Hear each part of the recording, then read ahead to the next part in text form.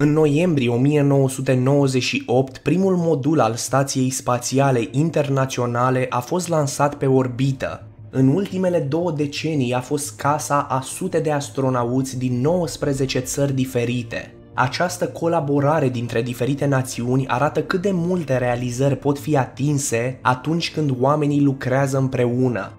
Totuși, nu tuturor națiunilor le este permis să participe în programul Stației Spațiale Internaționale. Din 2011, Chinei i-a fost interzis în mod oficial să se alăture celorlalte țări. În videoclipul de astăzi vom arunca o privire către colaborări spațiale puțin probabile dintre diverse națiuni. Vom discuta de asemenea de ce Statele Unite și alte țări și-au pierdut încrederea în programul spațial chinez, însă și despre planurile viitoare ale acestei țări de a-și construi propria stație spațială.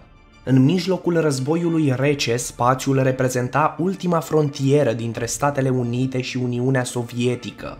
După ce tensiunile politice au alimentat progresele făcute în tehnologia rachetelor, cursa spațială a ajuns în cele din urmă la o concluzie atunci când Apollo 11 a aterizat cu succes pe lună. Odată ce peisajul politic al războiului rece a început să se calmeze, în 1975 a început o nouă etapă atunci când Uniunea Sovietică și Statele Unite au lucrat împreună la proiectul Apollo-Soyuz, o misiune care a implicat ancorarea navelor în spațiu a celor două națiuni. Misiunea a început în Baikonur, unde doi cosmonauți au fost lansați la bordul capsulei Soyuz 19. Câteva ore mai târziu, capsula Apollo a fost lansată de pe pământ american trimițând trei astronauți în spațiu, unde s-a întâlnit cu Soyuz. La trei ore după andocare, prima strângere de mână s-a întâmplat prin trapa capsulei sovietice. Acest moment extraordinar a semnificat o schimbare puternică în cursa spațială și a inaugurat o nouă era a colaborărilor internaționale. Cea mai mare colaborare spațială era pe cale să înceapă 23 de ani mai târziu, Stația Spațială Internațională. Condus de NASA, acest program spațial implica 15 națiuni și 5 agenții spațiale diferite. În afara provocărilor tehnice de a dezvolta și lansa o stație spațială, a fost nevoie de o cantitate extremă de încredere pentru ca toate aceste țări să colaboreze.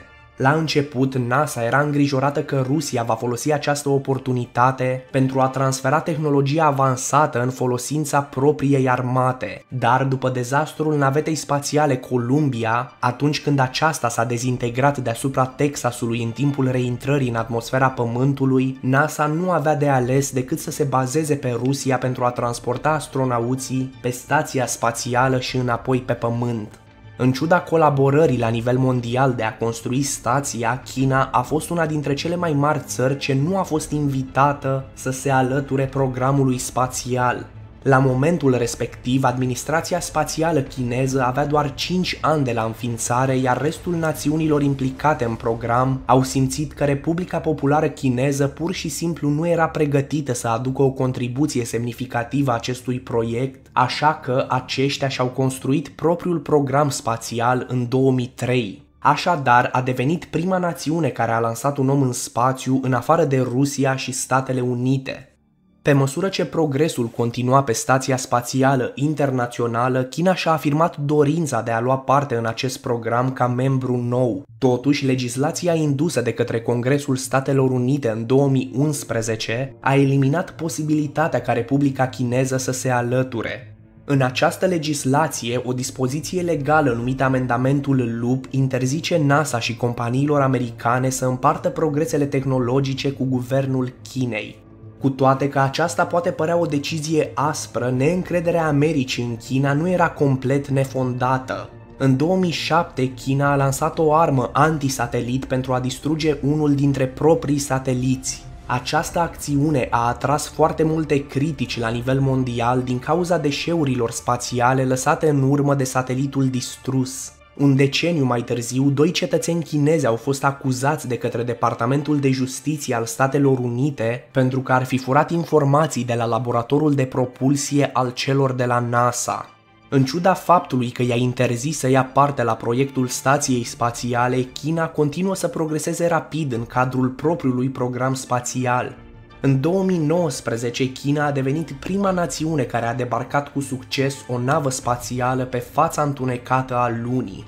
În 2011 ei au lansat stația spațială Tiangong-1, care a fost urmată de Tiangong-2 în 2016. Forma finală a stației spațiale chineze va avea doar o cincime din stația spațială internațională și se așteaptă să fie finalizată până în 2023. În timp ce Statele Unite își menține poziția împotriva colaborării cu Republica Chineză, alte agenții spațiale nu sunt atât de dornice să evite parteneriatul cu aceștia. Agenția Spațială Europeană a fost foarte clară cu privire la dorința de a-i permite Chinei să se alăture stației spațiale internaționale și țări precum Italia au fost chiar de acord să colaboreze cu China pentru misiunile viitoare ce implică trimiterea oamenilor în spațiu. Dacă au fost excluși pe bună dreptate din program sau nu, China a avut succes în dezvoltarea propriului program spațial. În următoarele decenii se așteaptă să devină un membru foarte important în comunitatea spațială. Cele mai mari realizări ale omenirii în spațiu au avut loc atunci când grupuri mari de cercetători și astronauți au lucrat împreună pentru un obiectiv comun.